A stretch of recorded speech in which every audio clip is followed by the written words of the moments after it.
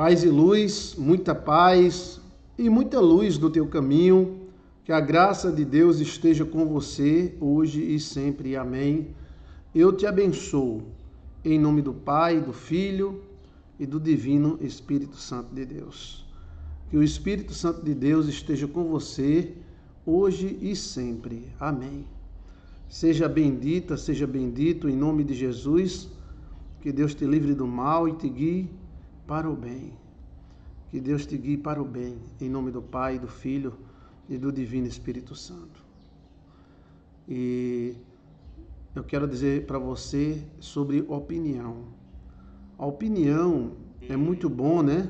Eu quero dizer para você Ano, an, analisarmos. Olha, Dirley foi o primeiro hoje, ó. né? Dirley Lucas. Obrigado, Dirley. analisarmos. Olha, Derlei foi o primeiro hoje, ó. É, sobre a opinião, né? Só os tolos nunca mudam de opinião. Os tolos, eles acham que é isso e é isso mesmo. É, não devemos nos mover facilmente do nosso entendimento. Ou seja, qualquer sopro de criança será o suficiente para a pessoa mudar. Não.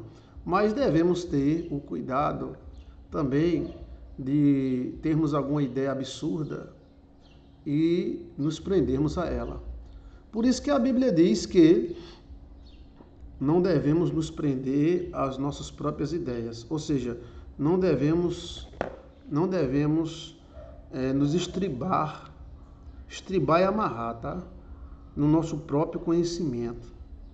Ou seja, às vezes pensamos que sabemos, temos a certeza que sabemos, né? Mas uns detalhes pode ser que a gente não saiba, ou não saiba, ou esteja totalmente errado. Né? Ah, você já parou para imaginar que podemos estar totalmente errados? Hum? Podemos estar em uma situação onde é, estejamos totalmente errados? Então, para isso é necessário darmos uma olhada. Nós temos que ter a nossa opinião, tá? Temos que ter a nossa convicção, a nossa certeza. Ah, mas temos que analisar de vez em quando, como a gente analisa a roupa. Deixa eu olhar aqui como é que eu tô. Peraí, peraí. Tá entendendo? Opa, assim. Tá. Como a gente analisa a roupa que a gente usa, às vezes a gente é necessário analisar as ideias que temos. Que às vezes uma ideia torta pode fazer uma vida torta. Não dá para construir uma vida aprumada com a ideia torta. Né? Então, temos que ver. Por isso que a Bíblia diz: está na Bíblia, Chiquinho? Tá na briba? Está na Bíblia, Chiquinho. Se tá na briba, eu acredito. Se não tá, não acredito. A Bíblia diz: pondera a vereda dos teus pés, e todos os teus caminhos sejam bem ordenados. Então nós temos que ver a vereda dos nossos pés e dar uma espiada, uma olhada, se realmente estamos né, é, andando pelo caminho certo. Nisso, a opinião da gente pode mudar, pode alterar. É como uma construção. A gente estima gastar um X numa construção. Mas às vezes gasta 3x, porque quando a gente vai construindo, surge uma pedra, um buraco, um negócio, a gente vai alterando a construção mediante o ambiente. Vamos beber uma aguinha, bora? Beber uma aguinha. Eu mudei de opinião, vou beber água agora. Água. Olha a água mineral. Vamos tomar água, bora, Dirley. Dirley foi o primeiro a entrar hoje, ó. Um cheiro. Pontual, né? Tá, Dirley tá. Todos, né? Mas graças a Deus, todos. Muito obrigado. Sejam bem-vindos, tá? Hum. Tive aí em Gurupi, né? Eu tive lá na, na- no Jalapão, lá tem umas fontes de água mineral. Aí você não afunda não, você deita e fica, fica boiando, né? Aí você abre a boca assim, ó, ah, só beber, só beber água. Vem do fundo da terra, lá do fundo da terra. Fica borbulhando, né? A gente tem medo de ficar num fervedor, chamado fervedor, no fervedor daquele e desaparecer lá pro fundo da terra. Mas a gente não, não afunda não, né, senhor? Funda não. E dá pra ver o fundo, os peixinhos nadando. Foi. Hum. Ah. Eu quero café. Hum, esse universo tá, tá craque, viu? Obrigado, mulher de Deus. Deus te abençoe, te ilumine, te encha de bênção. Abençoe teu marido. Já é abençoado, é? Que maravilha. É mesmo, ele é abençoado mesmo. Obrigado. Por que quando a gente ama, a gente fica com cara da bestalhada, hein? É. Vamos tomar café, bora? Hã? Tomar café? Fabrícia Moreira, Eliette Assis, Cris, Matilde Loureiro. Vamos tomar café, bora? Vamos tomar café, Menagilda. Patissa. Patissa de Gurupi. Vamos lá. Dilei, sua irmã. Regina. Edilon. Cadê Edilon? Ô Edilon. Edilon. Eu quero um cachorro desse. Edilon tem uns cachorros bonitos. Como é o nome dos cachorros, meu Deus? É, é uma raça bonita, viu? É. Os cachorros é mais bem tratados do que gente. É. Vamos tomar café, Patrícia. Patrícia de Gurupi. Bora, Patrícia. É. Então a opinião da gente deve ser abalizada. É como numa guerra. Você vai matar o inimigo, mas a ordem primeira não é matar o inimigo. A ordem primeira é sobreviver. Então quando a gente vê um perigo, o cara tá dentro de um buraco, daqui desse buraco aqui eu não saio. Aí lá vem um carro tanque daquele. E o cara sai ou não sai, sai ou não sai. Peraí, eu dei a palavra que eu não saía, mas eu vou é sair. É melhor um cão vivo do que um leão morto. Hã? Então as opiniões, diz que quem vive de opinião morre na solidão, né? Principalmente em relacionamento. Em relacionamento a gente briga que nem cachorro, depois a gente faz as pazes. Né? As pessoas que têm opinião não vivem com ninguém. É, é, a pessoa briga, depois tá amando, briga, depois tá chupando na língua do outro, olha que maravilha. É.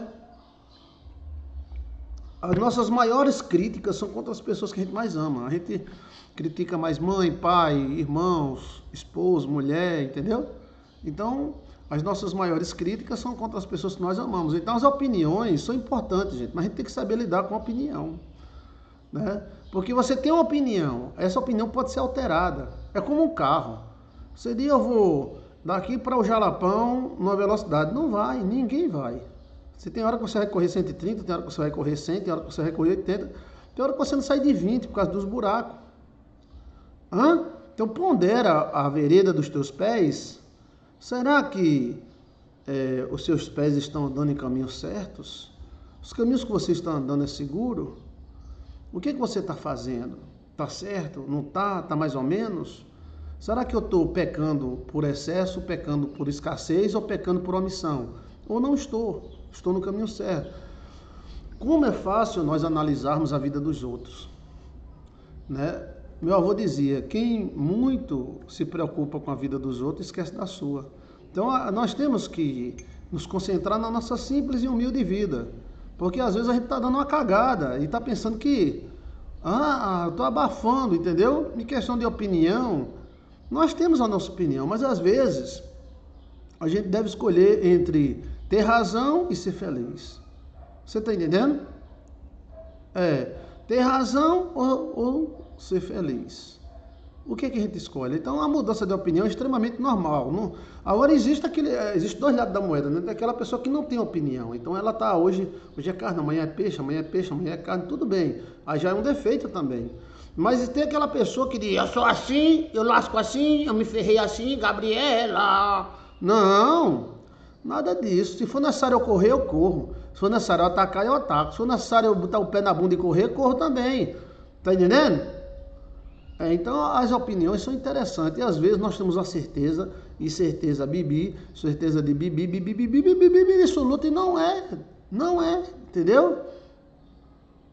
Não é daquele jeito. A opinião deve ser controlada.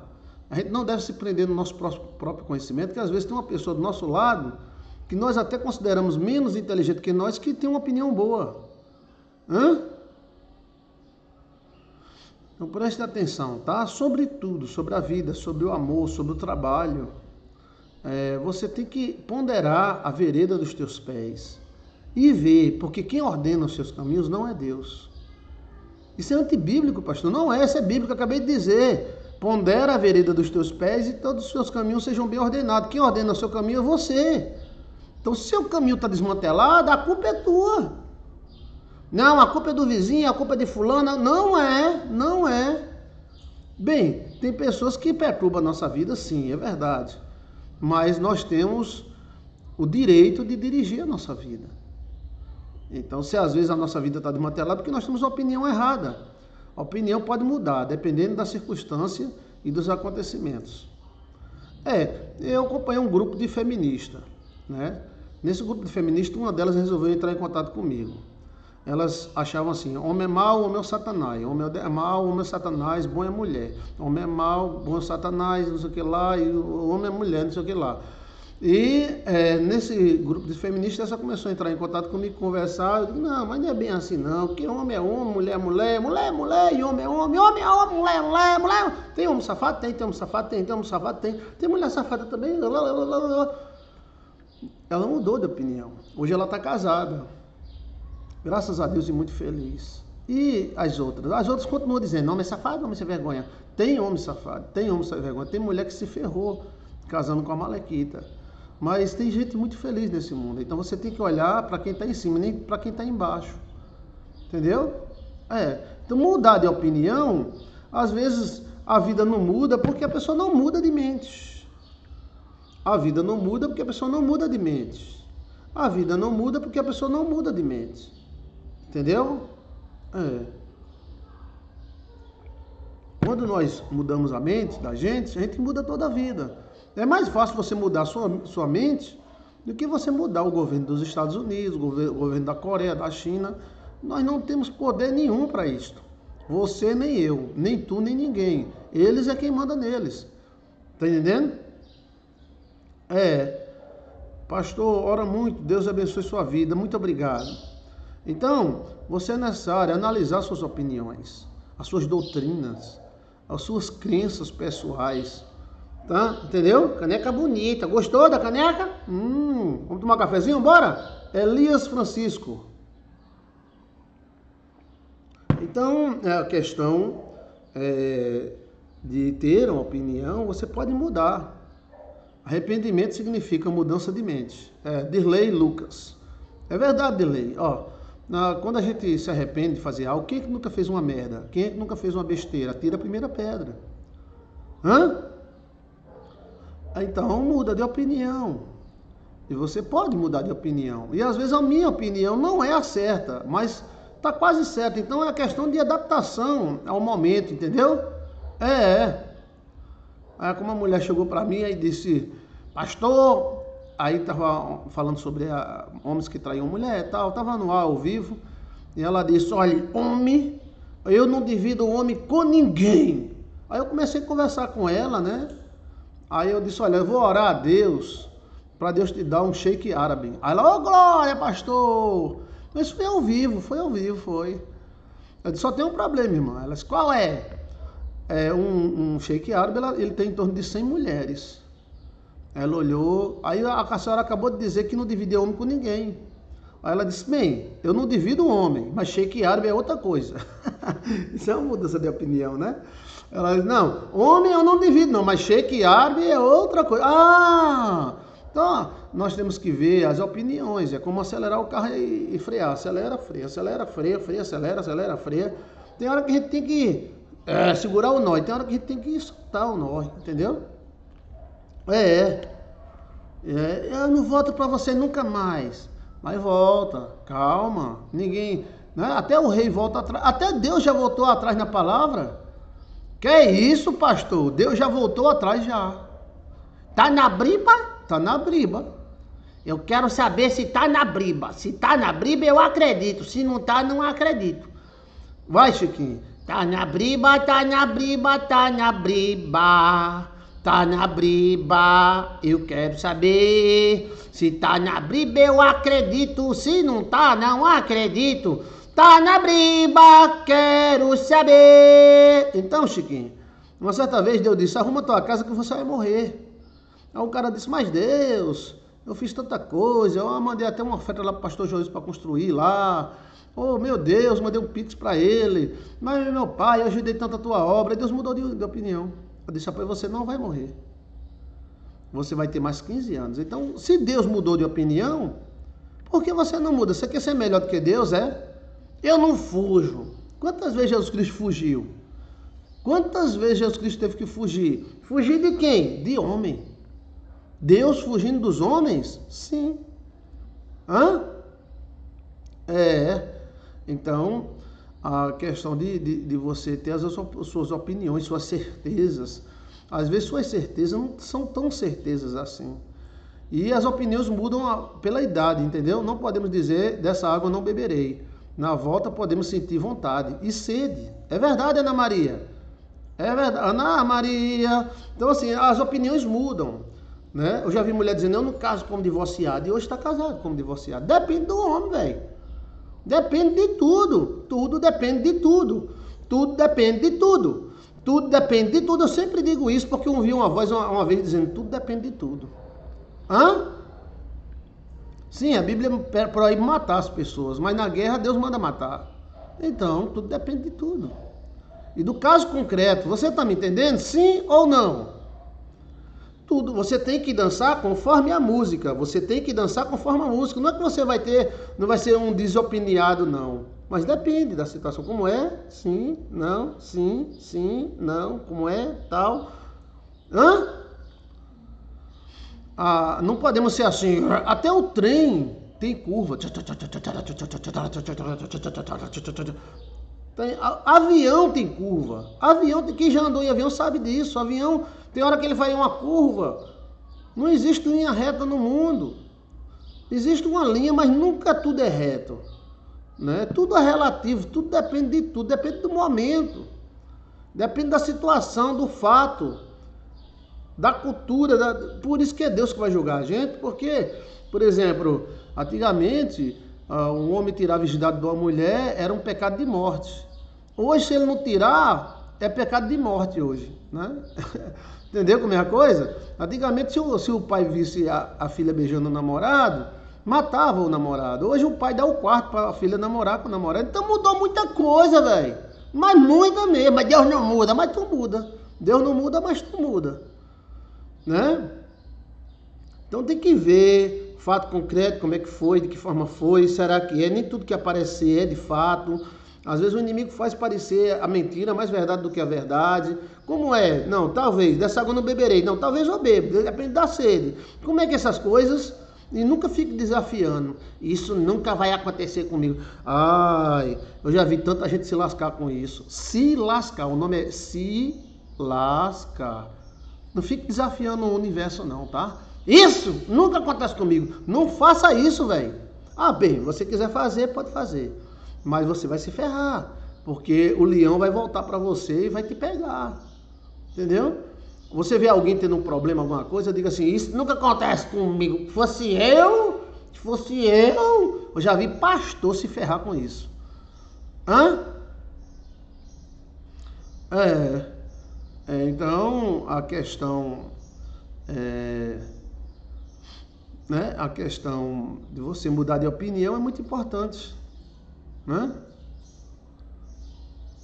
Peça a Deus para você ter uma boa opinião. Fique ponderando os seus caminhos. Fique ponderando. Né? Depois você vai notar que você é tão tolo, que precisava tanto de aperfeiçoação. E as ideias, elas são, elas constroem sua vida. Elas são os tijolos da sua vida. Se as ideias forem tortas, toda a tua vida será torta. Se as ideias forem frágeis, toda a sua, a sua vida será frágil. Você tem que ver que os seus pés são as ideias. Tá certo? Ok?